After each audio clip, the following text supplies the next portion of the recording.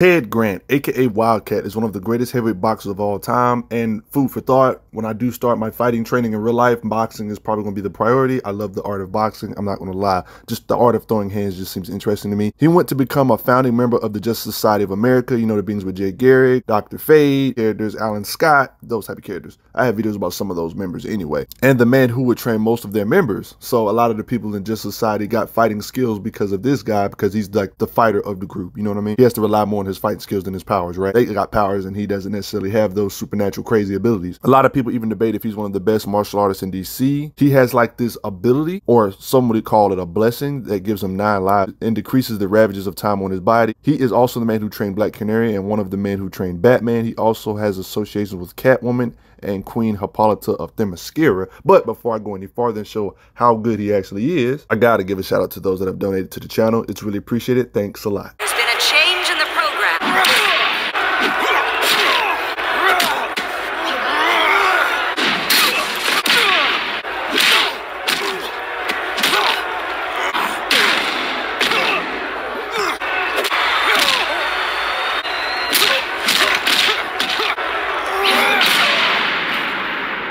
And I literally just repeated all this stuff. I'm just going to show you all lore right here. The origin of Wildcat, Grant Young heavyweight boxer, got his chance at title against his mentor. You know what I mean? It's literally what I said. I wasn't making this stuff up. It said in his day, Wildcat trained Batman, Black Canary, Catwoman, and even Superman in the sweet science of boxing. You reach, I teach. Too slow? Wildcat taught me how to box when I was just starting out but he's still surprisingly tough. It is stated here, Wildcat is the finest boxer who ever lived, has studied and mastered a wide range of less traditional fighting styles as well, including Muay Thai, Krav Maga, the list below. He's also skilled motorcyclist. More lore for you for Wildcat. Marvel and DC characters that don't necessarily have powers having the same combat speed and agility just from sheer training. Man, wouldn't it be nice to be able to train to these guys' levels in real life? But that isn't none of my business. Can we take the time to appreciate how he can just evade projectiles consistently, blitzing folks and etc. And just on raw agility and etc. He can catch up to an actual car. This is nothing new for DC characters being able to evade bullets, ducking, evasion. And let's check out this blitz right here. Literally blitz this dude took his gun, and etc. He even avoided multiple sources of automatic fire, like different angles and everything. And many of his scuffles with the other characters like Power Girl and Jay Garrick, he evaded a hit from Magog. Anybody else curious about how his lives work? He talks about it right here. If he's badly injured and ends up getting killed, I guess he gets one of his lives back. He like pretty much recovers completely. So it's like, say if he was on the battlefield injured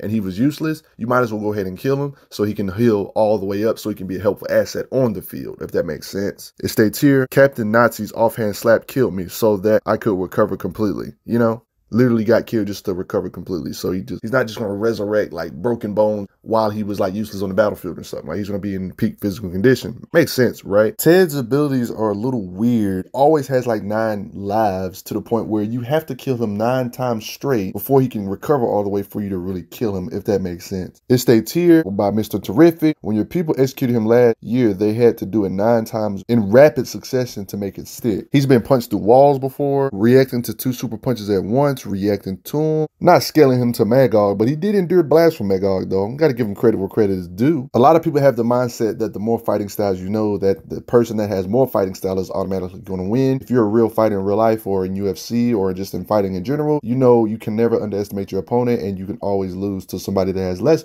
fighting styles than you, depending on how smart they are and intellectual in the battle. You can read this panel for panel. It states here his hands were that lethal and fast. Black Canary's talking, by the way. I was just a kid when I first saw him box. He's gotten plenty of battle feats, like in this occasion fighting Mr. Terrific. As you can see right here, using them hands. And Mr. T's too slow. He's got his power, but it's like he can't use it right. Intricacies of fighting, uppercut, baby. Battle feat with Wildcat. June, year. You know what I mean? Just showing his different skills and agilities. He's a were-panther. Find it funny how Wildcat roasts supervillains, how they be monologuing about their entire master plan. Wildcat, he's aware of this writing style. I know, right? So much skills that he's even fought 12 brothers in silk. You're probably wondering, why the heck is fighting the 12 brothers in silk impressive? They're literally a fearsome group that were hired to defeat the birds of prey, you know, with Black Canary and them. So yeah, that's how you know they're a beast if they were hired to take on characters like this. Wildcat was able to do this, impressive. By the way, this was some of the 12 brothers in silk, not not all of them, but still impressive regardless. Here's a flashback of his boxing days, just to get an idea of, just to give an idea of why so good.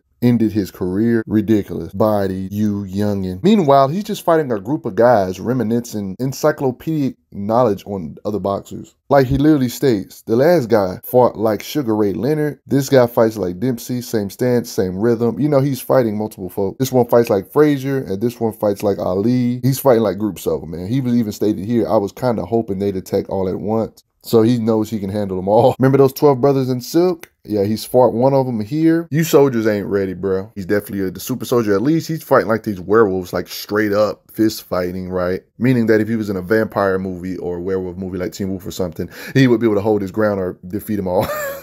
proving he doesn't have normal level strength. Plus, he's just a boxer. He's got those hands. So there was this organization called the Fourth Reach. It was this neo-Nazi organization. It was formed by Vandal Savage and things like that. A whole bunch of superpowered beings in there. And Wildcat, no surprise, has fought these beings as well. One of the Fourth Reach folk reacting and combating them. This guy, Wildcat, though, this guy fought the entire Injustice Society, you know, the opposite of the Justice Society of America, and he's doing well against all these beings with a broken arm, might I add. By the way, being able to do this to these other beings, he's not necessarily only using boxing, by the way. He even fought like this Hawkman projection this one time, showing his different type of skill. Yepity yep. Look, he fought the Gentleman Ghost in this occasion. Disarms him in the process. Another battlefield with the other leaguers, you know, they go Power Girl over there. Implied he knows how to wield a sword or use a sword at least, right? Got to be a little bit more versatile, right? Got in a slugfest and got in a, like a fight with depowered Vixen, as you can see. Yeah, it shows here. Vixen is pretty good fighter in her own right. He fought a Sportsmaster, another pretty decent fighter. Kind of taught a lesson reacting to him, countering him. He can't really do too much. Then he getting the curb stomp, bro. It says fractured his nose with that left hook, caused him some teeth. Bro, just accept your ill, man. Wildcat loves to work out because it gives himself an adrenaline rush. They even stay here, each one amped up with adrenaline, itching for a scrap. And he says this is his kind of workout. Night, night, more folks gets tossed. They're not ready. They're getting destroyed and they are finished. Light work to me. He even goes as far as saying that I feel like tonight I can take on a thousand of these guys, showing that these guys were just cannon fodder. Fought this really large group of beings. Wasn't joking about that. They have really good skill in their own. Oh yeah, by the way, he does no kickboxing. just because y'all know other boxings doesn't mean you can beat Ted. Even in the rebirth era stuff, it's proven right here that Jay Garrick got training from Ted Grant, Wildcat, as a freaking speedster. That's freaking scary. Wildcat knows the special Korean.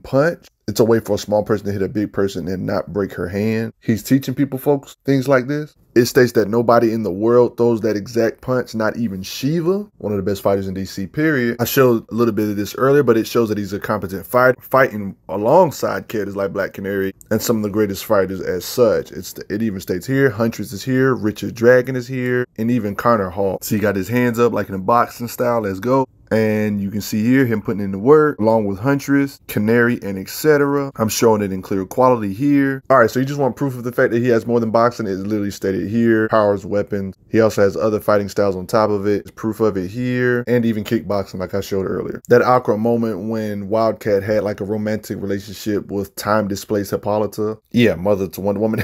All that extra stuff aside, can strike hard enough to break guns, beat up Grundy this one time. Remember that Grundy's power level changes significantly, and that's a part of his power set, but this is still impressive. Look at the damage they're doing with their fighting. Battlefield with Grundy. Night, night. Fought two boxers, two pro boxers. Knockout, sleep time. Folks with one arm, knocks Moose out the ring property damage. Yeah, he's causing environmental damage. Like you just pick up stuff like that too easy. Talking about vice grip strength, like he's able to hold on to something that's moving this fast. Carry somebody encased in thick ice, like it's just like no big deal. Strength. Threw a man hard enough to chip stone. Got enough grip to hold on to Jay Garrick while speeding. Just yeah, let you know the grip. You know how strong you got to be to crack prison prison glass stuff that's made to keep people in. One handed lifting like 200 pound people up. That's harder than you think. Vice grip enough to restrain Wildcat Jr. He punches hard enough to launch somebody down the hall. By the way, look at the distance of that punch, cracking the glass in the process. I showed this panel a little earlier, but it's a little clear quality of him fighting the entire Injustice Society, people with abilities and everything. The members that he's fighting here is Johnny Sorrow, Count Vertigo, Icicle, Golden Wasp, Tigress. It's ridiculous. He's a sub-zero psychopath, you know, icicle. If you can respect it, arm messed up and everything. You can see the little thing on him. Still has skills enough to hold his ground, miraculously countering. Throws her, making him boxing, punch, insane, battle feet, Seriously, how the heck did he survive this encounter? That's right, Wildcat has even fought the man, the myth, the legend himself, Batman. If you had your doubts about him being in that super soldier tier, well, he's fought freaking Batman, so let that sink in. Check this out, mask on and everything. They going at it panel for panel, countering one another. You see he tries to convince them off that they're fighting each other, being tricked into fighting each other. You can see like them kicking and stuff, boxing. Batman, he's no light work either because he can box too, punches his mask off, just like that. It wasn't that long of a fight though, but it's showing that they can't hang on par with each other. He can hang with Batman, but they ended up working together to fight their way out of this debacle. If that, you know, fighting meta humans, proving that he's also in that range. No cap. Dodge, punch, punch, even though these dudes are bigger than them. And then they work together. And yes, there is a pre-crisis Ted Grant, you know, the stuff that happened before the Crisis on Infinite Earths event. Yeah, but yeah, it's kind of like identical to the current stuff. You know what I mean? Still a boxer by every stretch of the imagination. Yeah, he still loves boxing a whole lot in pre-crisis day. But for the most part, Wildcat usually teams up with Batman in his comics. You know what I'm saying? Respect Wildcat though. He's more than just a boxer. He's just insane in all aspect. He definitely belongs with the Batman tiers and all the crazy tiers that DC had. Fighting on par with Batman is no easy feat because remember that Batman can literally rip chains apart, held a large portion of a roof with his bare hands, don't forget. So Batman's stronger than you think. But check out those playlists, y'all. Respect Wildcat. I will see you later on the channel.